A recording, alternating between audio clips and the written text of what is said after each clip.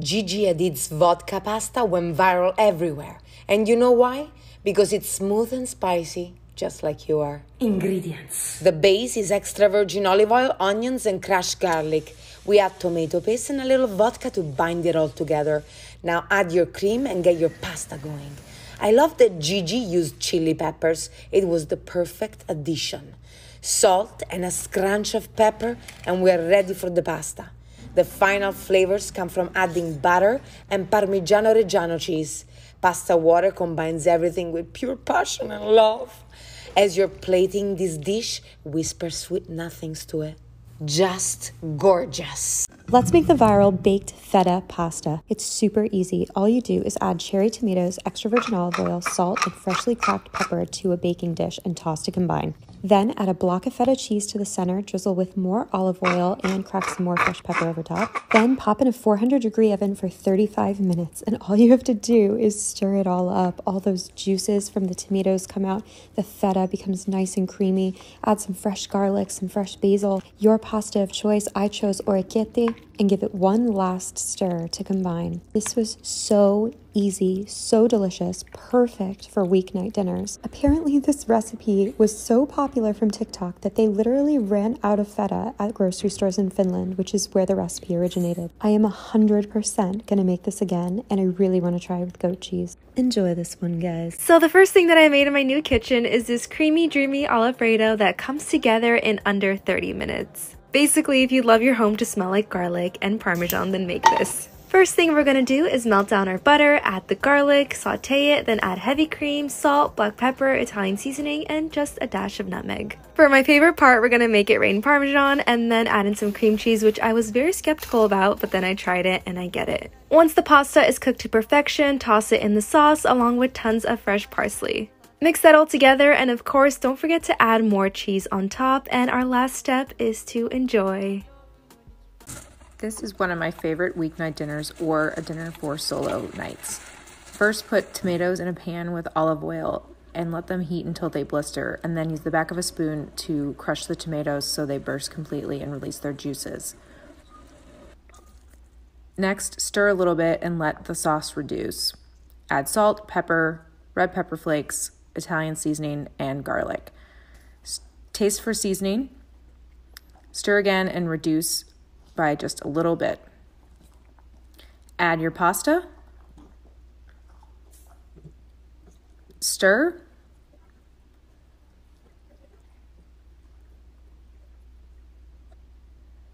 Add Parmesan cheese. Then a couple of tablespoons of your pasta water. Stir again so everything is incorporated and makes a silky smooth creamy sauce.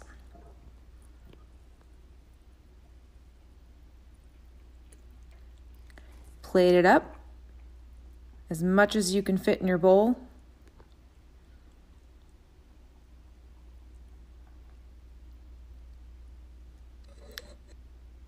And finish with a little bit of Parmesan cheese.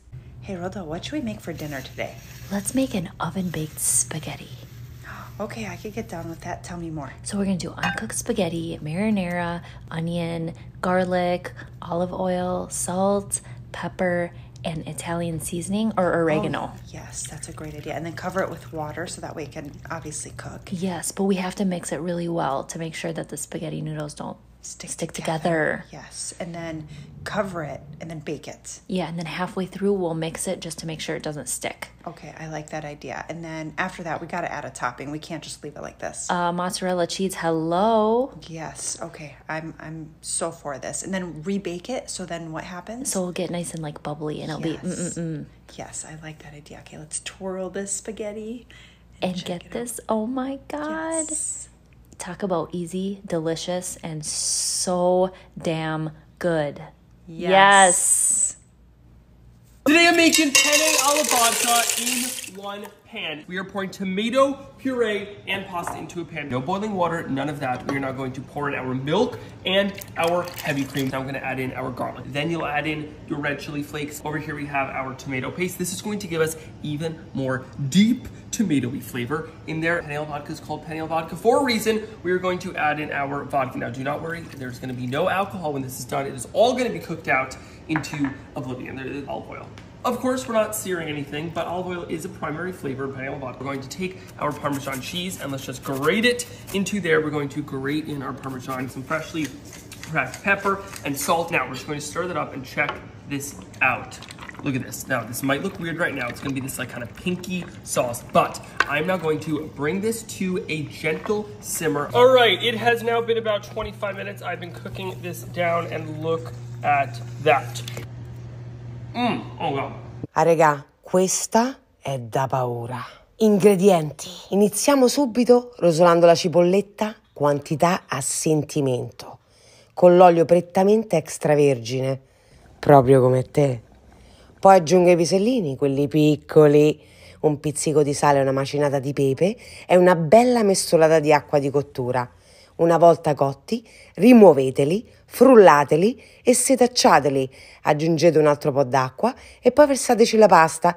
Questa si cucinerà direttamente nella crema. Aggiungete acqua di cottura quanto basta fino a che la pasta è al dente. Ora sbattete un ovetto con il pecorino un po' di parmigiano e unite al tutto per gli ultimi minuti di cottura della pasta. Mi pasta carbonara. Ponemos el agua a calentar, echamos el aceite, echamos sal y ahora ponemos la pasta. Cortamos la panceta en bastones, calentamos la sartén y doramos la panceta. Sacamos las yemas, las ponemos en un bol. Batimos queso pecorino y mezclamos. Cuando la pasta está cocida, la mezclamos con la panceta. Un poquito de agua. Añadimos poco a poco la mezcla. Si queda muy gorda la salsa, vamos añadiendo agua. Nos tiene que quedar muy cremoso. Pimienta negra. Vas a flipar con If you want all the garlic, it is in this pasta. You want to start by roasting up your garlic first. Peel an entire bulb of garlic. Yes, an entire bulb. Drizzle with some olive oil and sea salt. I cooked mine in the air fryer on 350 for about 15 minutes. Then you're going to blend that in a blender with some olive oil and set aside. Slice up some fungus, add some oil to a pan. Then you're going to toss in your mush and saute for about 5 minutes until nice and tender. Add some chopped spinach and continue cooking, maybe about one to two minutes. Then you're gonna deglaze with some white wine. I'm just using some cheap white wine, it doesn't really matter. Add in your garlic mush and then you're going to mix that until very well combined. Once that's combined and it's cooked for like three minutes, add in about half a cup of heavy whipping cream. Then you're gonna season with some salt, and I used Aleppo pepper. Then I added in some Parmigiano Reggiano and more spinach. Cook that down until it wilts, and then I added in my pasta with a little bit of pasta water. And y'all, this is the most delicious pasta. I'm going to show you the easiest pasta ever. So, very tomatoey, okay? We've got the cherry tomatoes and olive oil. We have tomato paste and passata. And canned tomatoes, okay? Even the best chefs use canned tomatoes, trust me. Oh, they're the best. I'm also adding some okra, but you can leave that out. I just like it.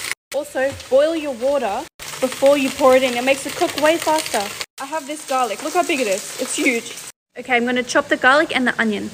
Just like this. And this is the pasta I'm cooking. Look how cool it is. Oh my god. Okay, while that's cooking, I'm going to make the sauce. So I cook the cherry tomatoes until they're like this. And then I just put them to the side in a bowl.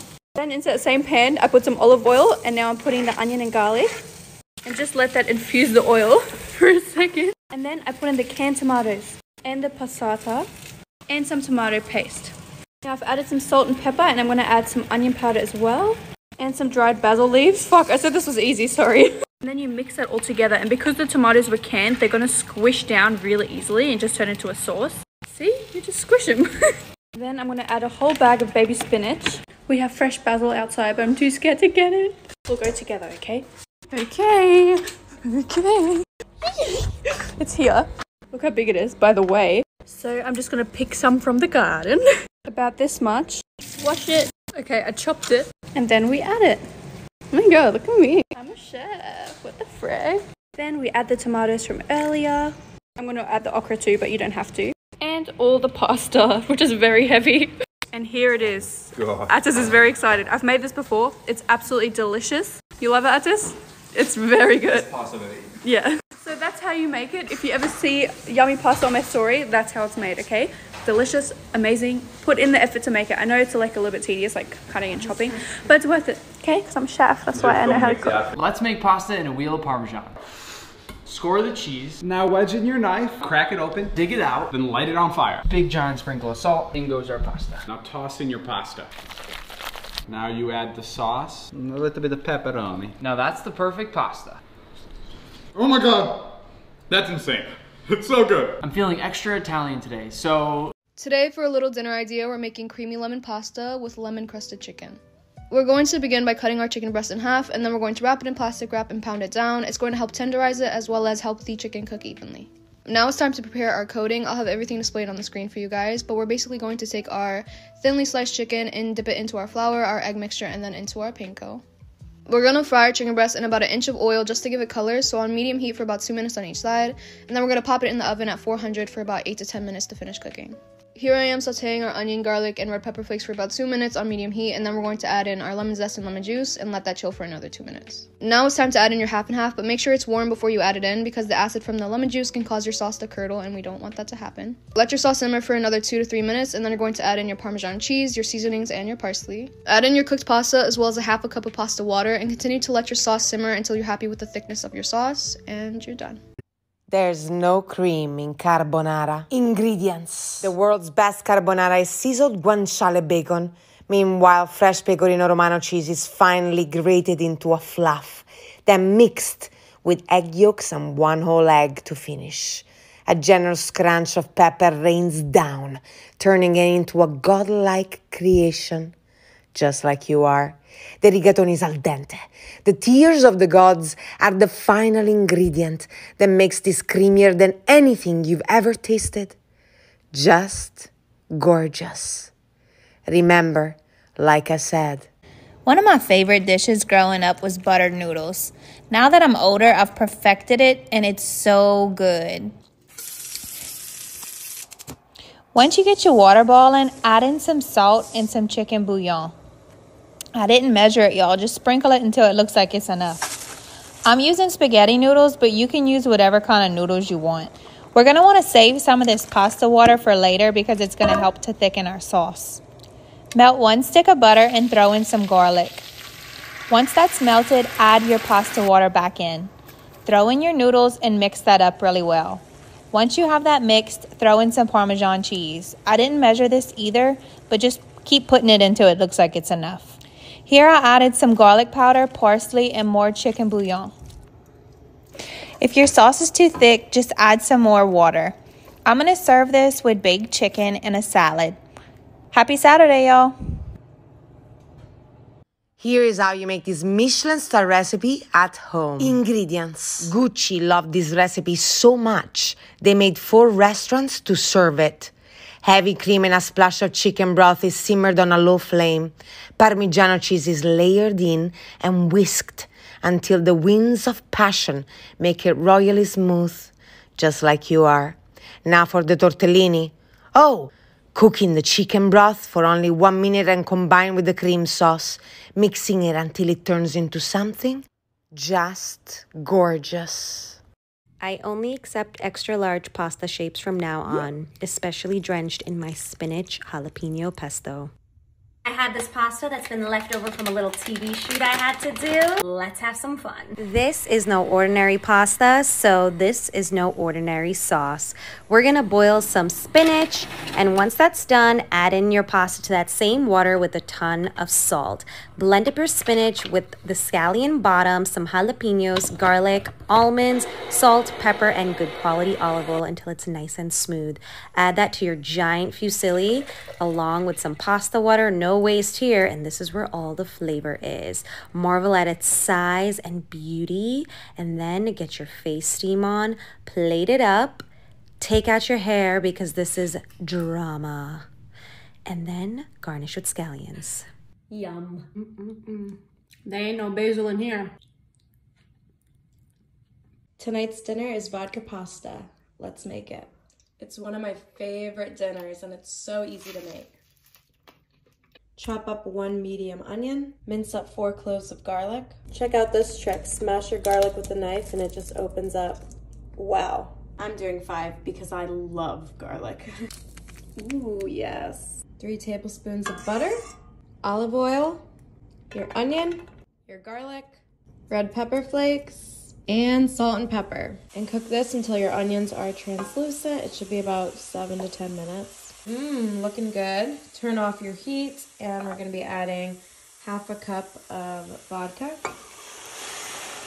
And then turn your heat to low medium and we are going to let the vodka cook out for about 15 minutes. And I always see comments asking about, do you need to put the vodka in it? Yes, it gives it the flavor. Yes, your child can eat this. The vodka evaporates, but it gives it the flavor. So you do need to add the vodka into it. Mmm, vodka is cooking out. It smells so good. Um, you can start boiling your pasta now. I'm going to be using this kind. I love shell pasta because then the sauce gets like inside of the shell and it makes it like extra saucy. But you could use penne, spiral, whatever kind you'd like. I'm also going to air fry some of this five cheese Texas toast. I got this at Aldi's. And now you could see that the vodka is cooked out. We are going to add a 15 ounce can of tomato sauce. And we're gonna let this simmer for five minutes. I'm adding some more pepper, salt, and red pepper flakes. And now turn your heat on low. And we're adding in one cup of heavy whipping cream. And you're gonna slowly add this and mix at the same time. And once it is fully mixed, you're gonna bring the sauce to a simmer one last time. Once your pasta is done, drain the water and you can add it to the sauce. And plate and serve. And I'm topping it with some Parmesan and some parsley and some more red pepper flakes. Mmm, that was good. This is the forbidden pesto. Ingredients. Arugula was forbidden in ancient Rome as it was used as a love potion. Roasted pine nuts, garlic, pecorino, and parmigiano cheese, and a squeeze of lemon pure temptation, just like you are. We toss the linguine in al dente, then combine the ingredients of passion itself. Slowly massage while whispering your lover's name.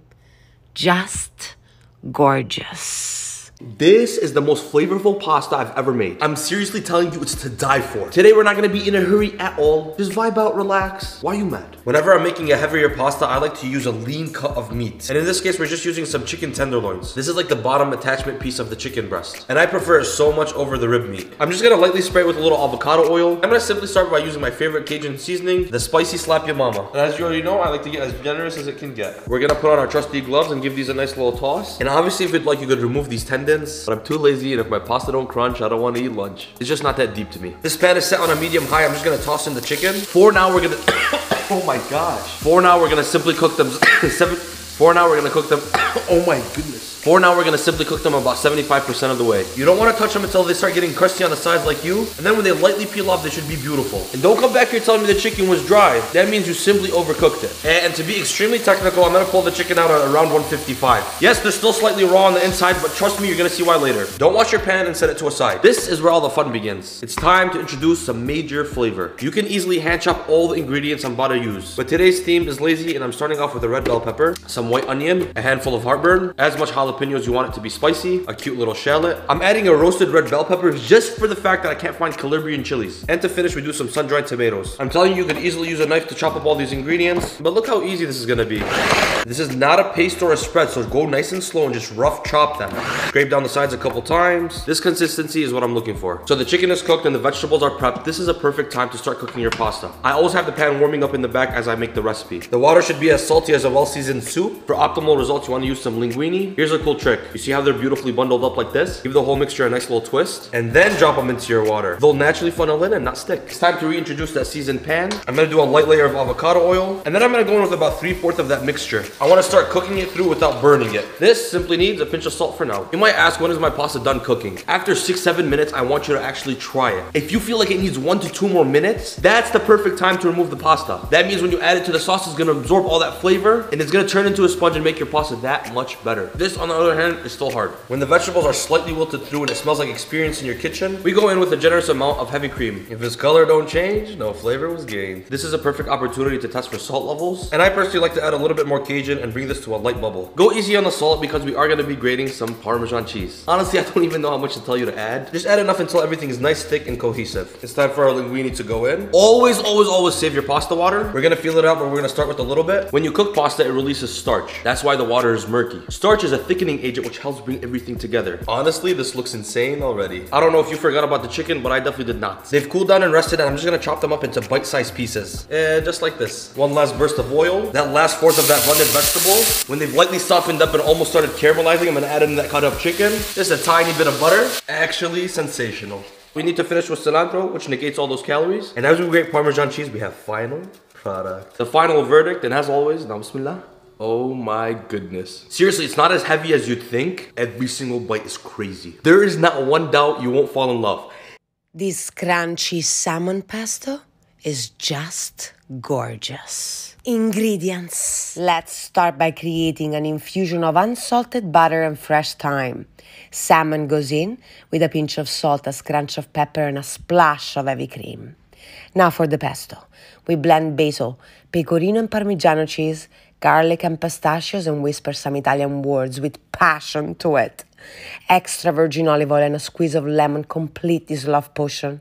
Blend until silky smooth with an edge of rebel, just like you are. Linguine falls in al dente, pesto follows, and the pasta gods shed their tears of happiness while it all comes together into a feast in their honor. Finally, crown with toasted breadcrumbs. Let's make baked feta pasta, mac and cheese, and let's make it spanakopita style. Add two blocks of feta to the center of a casserole dish. Then pour in a pound of dry macaroni or your small pasta of choice, along with four cups of half and half and two cups of water. Add a nice sized sprinkle of kosher salt, then give it a little bit of a stir. Next, drizzle your feta with some extra virgin olive oil and crack some fresh black pepper over top. Then pop in a 350 degree oven for 30 minutes.